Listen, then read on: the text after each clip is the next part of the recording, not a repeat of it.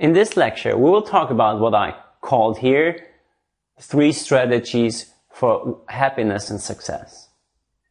These three are mindfulness, self-esteem, and strengths.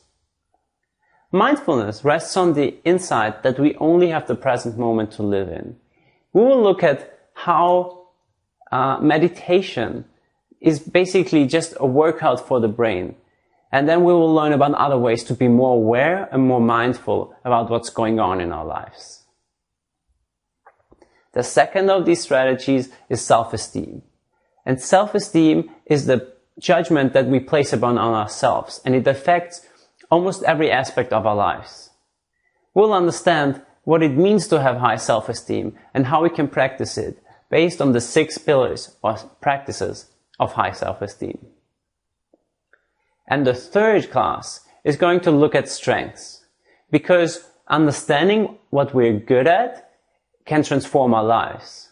I will argue that we have an inherent bias towards looking at our weaknesses and we easily overlook our strengths.